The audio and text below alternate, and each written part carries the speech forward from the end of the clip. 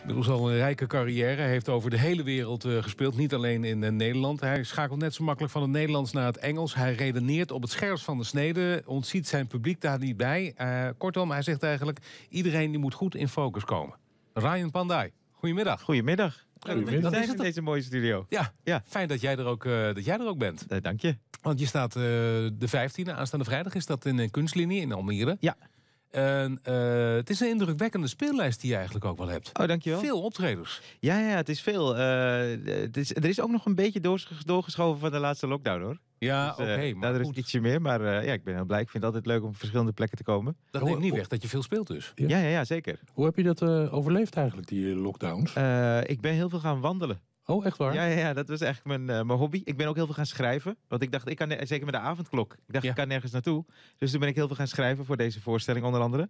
En uh, ik had een paar uh, wandelmaatjes. Die heb ik eigenlijk leren kennen tijdens de lockdown. Raoul Heertje, collega comedian. Ja. En Prem Radekishun, collega van jullie, radiomaker. Ja. ja, dus elk nadeel heeft zijn voordeel. Ja, ja, ja zeker. Ja, ja. ja. De, ik las eventjes. Um, de, in, jou, in jouw show moeten we ons afvragen wat de bijzaken zijn en wat de hoofdzaken zijn. Ja, eigenlijk geldt dat vooral voor mij hoor. Maar dat geldt meer voor jou, niet, niet nou, in het voor iedereen, algemeen? Ik denk dat het wel een algemeen ding is. Maar we worden tegenwoordig zoveel afgeleid. Uh, er is om de havenklap breaking news. Je wordt alle kanten op getrokken. Met Ja. uh, allerlei soorten nieuws. Dus, en, en het geldt ook voor het leven. Hè. Je verzandt je zo in kleine Piet Luttigheden. Tenminste, ik heel erg. Maar wat zijn voor jou dan hoofdzaken?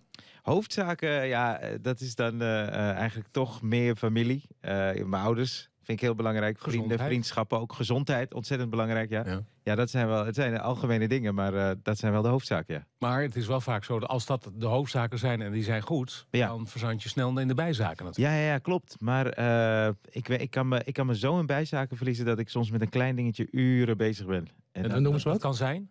eh, bijvoorbeeld als ik een eh, hotel ga boeken, dat, is- dat is een ramp. Als ik een hotel moet boeken, dan... eh, eh, vroeger had je alleen maar het aantal sterren van een hotel, dat Ja. genoeg was. Maar nu ga ik naar alle reviews ga ik kijken. En alle negatieve reviews. Want wat er goed is, geloof ik allemaal wel. Dat is heel gek. Het Maar is zo herkenbaar dit. Ja, en als Ja. ik dan een negatieve review zie, dan denk, kan ik hem wel vertrouwen. Ga ik die persoon opzoeken op Facebook. Wil ik kijken hoe die eruit ziet. Dus het, het, het duurt echt uren. En dan uiteindelijk kom je ook nog op de prijs. Ja, ja, ja, ja. ja, dat is ook weer zo. eh, Een vierkante meter, dat is ook weer een heel ding. Vierkante meters ben ik ook achtergekomen. Ja. Dat is echt een, eh, een dingetje. Ik, eh, ik had een keer een hotel geboekt, kreeg een goede prijs via de app. En dat was in Londen. En toen kwam ik daar, dat was 9 vierkante meter. Dus toen ik mijn deur opendeed, lag ik in mijn bed.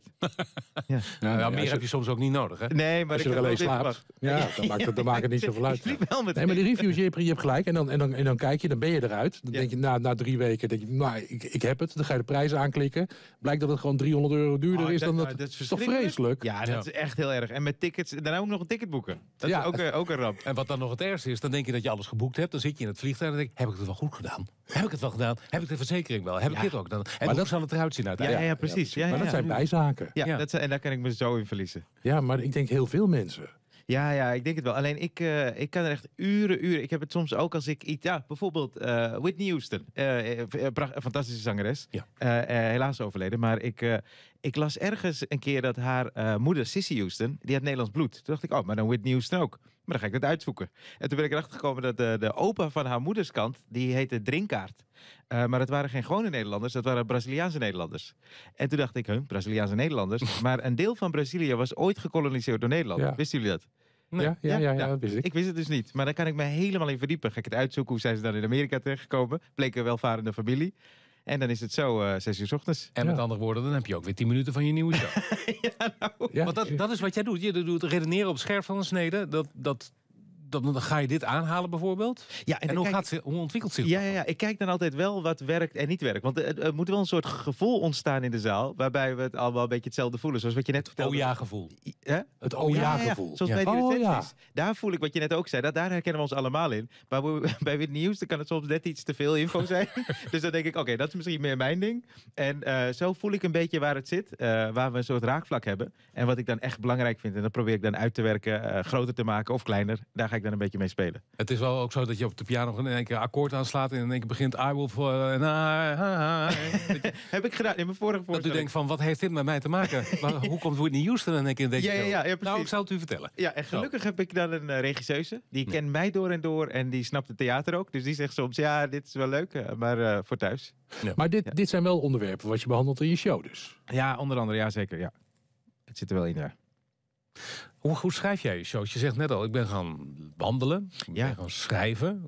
Komt daar de meeste inspiratie uit? Of zie jij dingen op straat gebeuren of om je heen gebeuren dat je denkt, nou, maar dat is, dat is, dat is opmerkelijk dat er gebeurt. Ja, ja, bijna alles is echt gebeurd. Eigenlijk zo goed, en volgens mij alles. eh, als ik me zo kan bedenken. Maar eh, meestal zijn het dingen die zijn gebeurd, die ik dan vertel aan een vriend of een collega. En die zeggen dan, oh, dit moet in je show, dit moet je echt doen.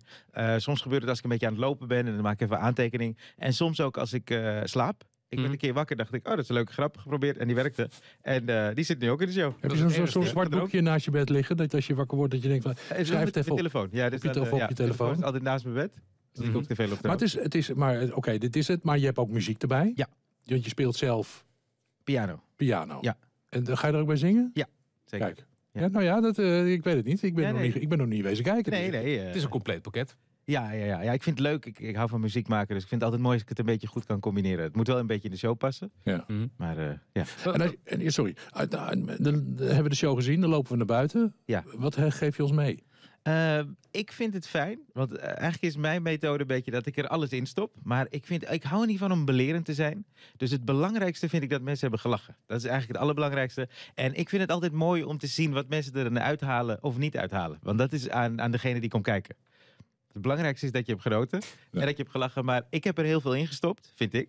En degene die, die gaat kijken, ja, dat is het mooie aan bijvoorbeeld ook kunst kijken, toch? Aan Ja. schilderij. Iedereen mag er zelf iets uithalen. En soms klopt het met wat ik erin heb gestopt. Mhm. En soms helemaal niet. Maar hoe kom je dat te weten? Ga je na afloop ook nog meestal naar de foyer? Bij de try-outs, ja, ja, zeker. Ja? Ja. ik vind het bij de try-outs echt... eh, dat is voor mij het beste proces. Want dan probeer ik allemaal dingen uit. En soms lijkt het wel te voelen op het podium... dat je denkt, oh, dit, dit eh, komt goed over.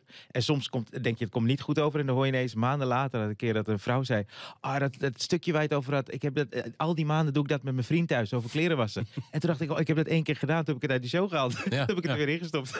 En de actualiteiten, beïnvloeden die jou ook? ja, zeker, zeker. Ja. Alleen het is eh, een beetje wisselend. Het moet me wel raken. Mhm. Eh, of het moet iets heel groot zijn natuurlijk. Maar eh, als ik bijvoorbeeld echt verdiep in zo'n ding, er zijn altijd dingen die me dan opvallen. Alleen actualiteiten kan je meestal niet heel lang meenemen. Zeker met zo'n medium als Twitter. Daar Ja. worden snel hele goede grappen, korte grappen op gemaakt. En zeker met hoe vlug alles nu gaat, is het nieuws ook weer redelijk snel voorbij. Ja, andere er- dingen maar ja, heel lang, hè? Zoals Aanstaande vrijdag kan je het hebben over, over eh, King eh, Charles. Charles. Zeker, ja, ja, ja, precies. Klinkt nog steeds niet lekker, hè? Nee, Nee, het nee, klinkt- het is Charles. verwennen. Maar ja, Ik, heb- we we hadden het er straks over. Ik heb een beetje het idee dat het de Prins Carnaval dan voorbij eh, komt. Ja, Prins, er- er- Prins er- Charles de derde. Er wordt een Ja. nieuw Engels eh, chocolaatje uitgebracht, maar mm, het, het bekt niet lekker. nee, nee. manier. Ah, dat komt nog goed, dat zul jij ook hebben. Dat je denkt van, ik heb wel een goede grap. En Ja. uiteindelijk bekt hij niet lekker. Ja, nou, ik, ik moet wel het gevoel hebben dat het echt een, een eigen grap is. Als ik denk van, oké, dit, dit is origineel voor mij. Of dit vind ik gewoon lekker. Ja. Of het moet er even uit. Dat is ook, hè. als er net iets is gebeurd, dan moet het er even uit. Ben jij Alleen- dan zo'n cabaretier die de mensen gewoon eventjes laat nadenken dat dan die grap valt? Of kou je ze bijna helemaal voor? Nou, ik heb, eh, wat ik zelf heel... eh, Bij mij zit het in eh, tussengrappen. Dat is een beetje... Snel. ja, ja, dus het zit er tussenin. En de nuances vind ik heel leuk. En dan is het altijd spannend om te kijken wie pikt die nuances op en wie niet. Dus Mhm. daar zit het een beetje in. Dat zijn dan eerder sneller... Ja, misschien doordenkers, weet ik niet. Maar het zijn tussen dingen waarbij je toch even alert moet blijven. Ja, want je zegt ook, ik spaar het publiek niet. Is dat dan ook dat als een- één persoon echt heel hard lacht, nou die is dan de rest van de avond aan de beurt? Ja, alleen ik wil wel altijd, want dat is ook wel een ding, ik wil altijd dat iedereen het leuk vindt. Mhm. Dus eh, ik vind het leuk om met het publiek aan de gang te gaan. Nou, door die ene de hele avond te pakken te nemen, heeft de andere de een rest eh, het leuk. geweldige Nee, avond. Nee, maar diegene die ik te pakken neem, dat is, eh, dat is eigenlijk mijn, eh, mijn stijl, vind ik. Ja. Die moet het ook nog leuk kunnen vinden. Dus rij 1 zit gewoon heel veilig. Is, ja, weet ik niet. Maar ik wil wel. Want eh, hetzelfde geldt. Ik heb bijvoorbeeld eh, een, een, een, een stukje over eh, verschillende geloven. Maar als ik het heb over een groep of over geloof, over een ras. Ik wil altijd dat die groep het. ik- mijn, mijn regel is ook dat ik het voor die groep ook eerst doe. Mhm. Want die moeten het snappen. Als Ja. die het leuk vinden. Eh, het kan nog steeds hard zijn. eh, het kan nog steeds zijn dat ze denken: ja, ik ben het er niet mee eens. Maar ze moeten het in ieder geval wel kunnen horen. Ja. Ja. Want ik wil het niet achter mensen hun rug doen. Maak je harde grappen? Ja, in deze voorstelling zitten er iets hardere grappen dan, eh, dan voorheen, ja. Is het hard of gevaarlijk? Eh, gevaarlijk. Ik leg het later in de show uit. En daarmee hoop ik dat ik me mijn reet red. Maar, maar daar, heb, je, heb je pauze in je show? Nee, nee, nee. Oh, dat is een geluk. Want anders dan denk je van, ik weet niet wat er na de pauze ja, ja, ja, nog zit. ja. Dus ik heb, ik heb een paar dingen waarvan ik eh, bij de try-outs merkte van oeh, er was af en toe een oeh. En later, maar ja, daardoor weet ik, oké, dit is gewoon één show. Dus later eh, komt het wel weer goed. Dan haal ik het wel even Maar aan. trek je je daar dan veel van aan? Eh, Of je regisseur? Eh, ik eh, minder. Vroeger heel erg. Toen was ik heel van oeh, oeh. Maar nu denk ik, oh, maar die oeh is ook goed. Mhm. Want laat die maar even vallen. En dan gaan we later kijken wat we daarmee gaan doen. Want dat is een, een energie en een reactie waar je ook iets mee kan. Dus dat maakt het meteen weer spannend. Ja. Dus ja, ik- dan moet je er wel op terugkomen.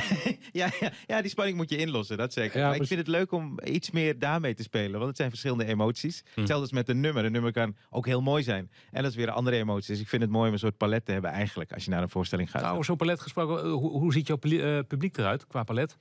Da dat vind ik eigenlijk het allerleukst. Eh, mijn publiek is eh, over het algemeen alle leeftijden en alle afkomsten. Dus ik vind dat het mooiste als we met z'n allen daar zitten. En Alle geloofsovertuigingen. ja, ja, ja. En ik vind het ook fijn dat ik dan eh, ze allemaal eh, kan behandelen.